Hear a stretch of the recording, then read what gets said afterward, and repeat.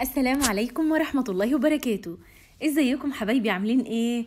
معاكم فاطمة بوحاتي والنهاردة فيديو تحفة جدا. هنعمل مع بعض النهاردة فطاير مورقة أسهل فطاير مورقة تقدري تعمليها في الدنيا. بصي الجمال بصي التوريقة والطعم بقى مش قادرة أقولك هو جميل قد إيه. حاجة كده تحفة جدا. شايفين؟ شكلها حلو قوي تقدري بقى تقدميها في فطار في عشاء للولاد في الساندوتش يعني ياخدوها معاهم المدرسة تقدميها مع حلو مع حادق براحتك جدا. يلا بينا بقى نشوف مقاديرنا. عندي نص كيلو دقيق هحتاج له حوالي كوباية وربع لكوباية ونص من الحليب بيضة عندنا كمان ربع كوباية زيت ربع كوباية سكر معلقة كبيرة خميرة معلقة صغيرة ملح وذرة آه فانيليا. بس كده. يلا بينا نشوف هنعملها إزاي. أنا هحط في العجان المواد السايلة كلها. ادي كوباية ونص من الحليب. هنحتاج كمان ربع كوباية من الزيت. وهنضيف لهم الفانيليا معلقة صغيرة معلقة كبيرة من الخل. أحط كمان ربع كوباية سكر. بيضة. وهبتدي اخلط المكونات دي مع بعض.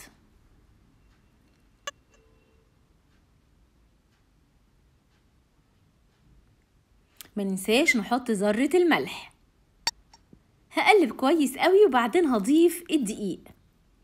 ده نص كيلو دقيق. تقدري أو ممكن تحتاجي أكتر شوية أو أقل شوية على حسب نوع الدقيق. كل نوع دقيق بيختلف عن التاني. في دقيق بيشرب سوائل كتير وفي دقيق آه ما بياخدش سوائل آه بكمية كبيرة.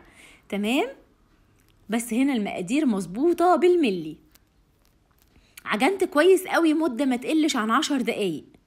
عايزة العجينة معانا تكون مطاطية ولينة. هايل جدا جدا. شايفين العجينة عاملة إزاي؟ تحفة. ولينة إزاي؟ وما بتلزقش في الإيد. في منتهى الجمال. يلا بينا بقى نشيلها.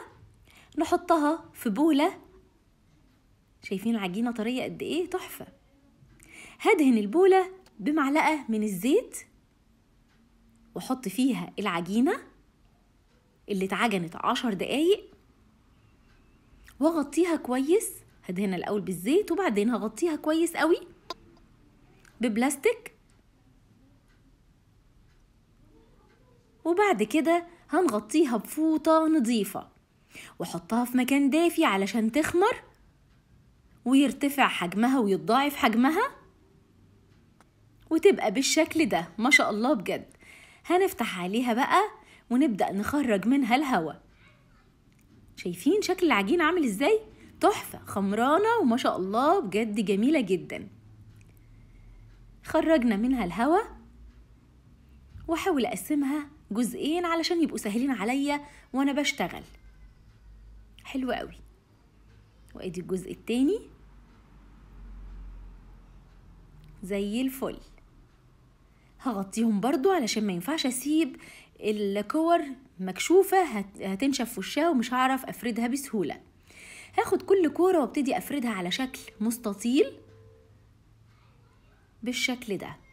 افردي بقى على قد ما تقدري. طبعا هنرش الرخامة بتاعتنا بالدقيق ونفرد قد ما نقدر.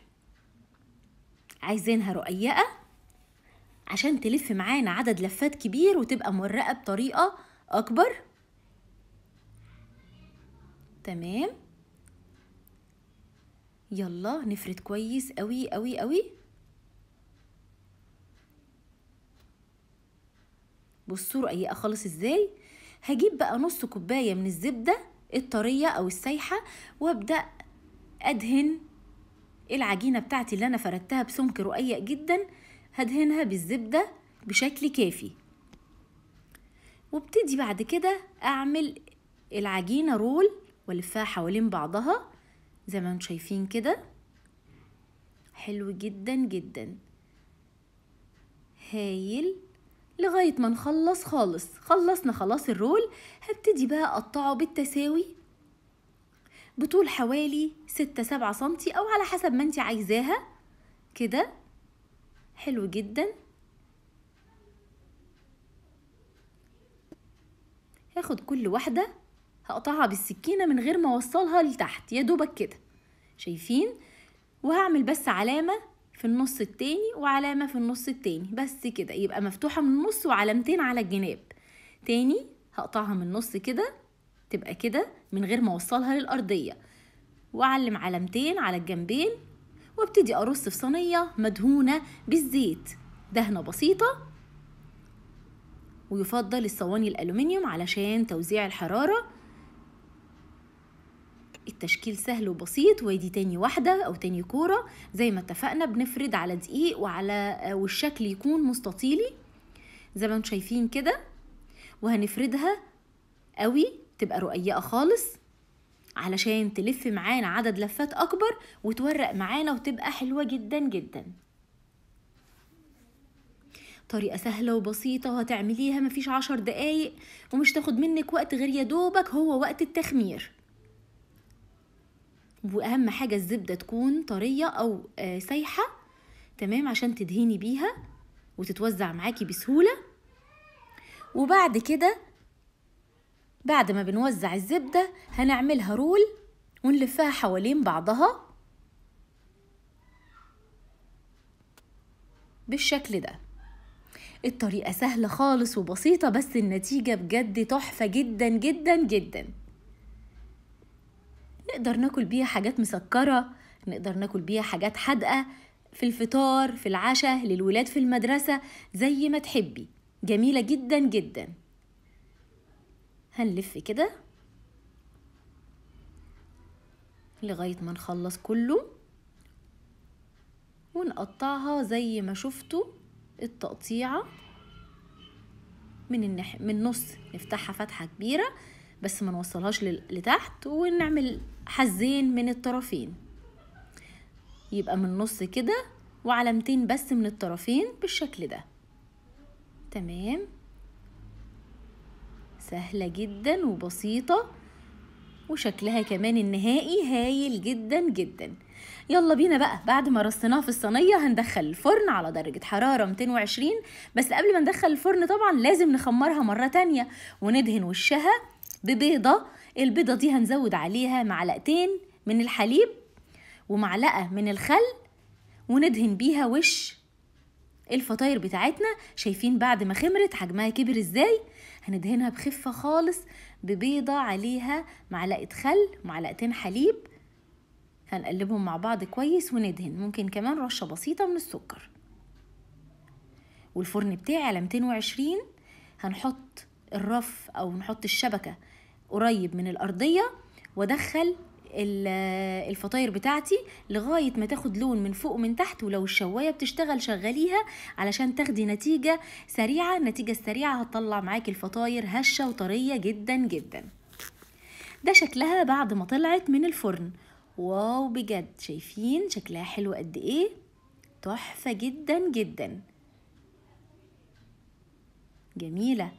هنقدمها بقى زي ما قلنا كوباية شاي كوباية شاي بلبن آه مع أي نوع بقى جبن مربى زي ما تحبي. هي جميلة وهتتقدم مع حاجات كتيرة جدا.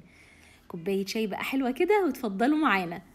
عايزة أقولك بجد طعمها في منتهى الجمال. أنا كلتها مع جبنة حادقة والشاي بجد خرافة. يلا بقى عايزاكم تجربوها وتقولوا لي رأيكم فيها إيه. ضروري جدا وتبعتوا لي تطبيقات على الجروب بتاعنا. فاطمة أبو حاتي. آه عايزة أفتح لكم واحدة برضو تشوفوا كده من جوه الدنيا عاملة إزاي. بصوا معايا بقى كده. شايفين طرية إزاي؟ شايفين التوريقة بقى بتاعتها جميلة وباينة قد إيه؟ وطعمها يا مش قادرة أقول لك بقى جميلة قد إيه خصوصا لما تكوني مستخدمة زبدة كويسة هتديكي نتيجة هايلة جدا. ما شاء الله بجد. يلا بقى لو عجبكم الفيديو like و share و subscribe لقناتنا على اليوتيوب علشان تقدري تشوفي كل الفيديوهات بكل سهولة. فعلي الجرس كمان علشان أول ما ينزل فيديو جديد يوصلك على طول. أشوفكم في فيديوهات تانية إن شاء الله. والسلام عليكم ورحمة الله وبركاته.